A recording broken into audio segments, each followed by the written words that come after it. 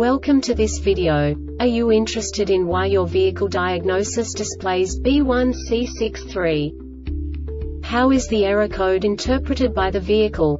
What does B1C63 mean, or how to correct this fault?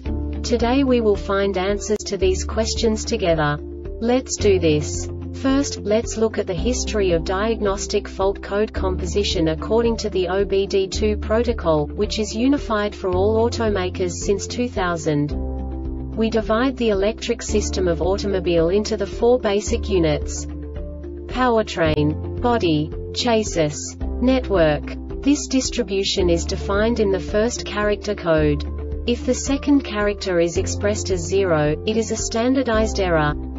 In the case of numbers 1, 2, 3 it is a more prestigious expression of the car-specific error. The third character specifies a subset of errors. The distribution shown is valid only for the standardized DTC code. Only the last two characters define the specific fault of the group. Let's not forget that such a division is valid only if the other character code is expressed by the number 0. Our website airbagreset.sk produces useful videos for you. You do not have to go through the OBD2 protocol anymore to know how to troubleshoot any car breakdown. You will find all the diagnostic codes that can be diagnosed in a Honda vehicles. Also many other useful things. The following demonstration will help you look into the world of software for car control units. You unbelievably can move the video a bit further. The error code is split into two bytes consisting of 16 bits. One bit is the basic unit that each computer works with. The bit has two logical states. 0, low level, 1, high level. By combining the first two bits, the basic character of the error code is expressed. The next two bits again determine the second character. The last beat styles of the first byte define the third character of the code.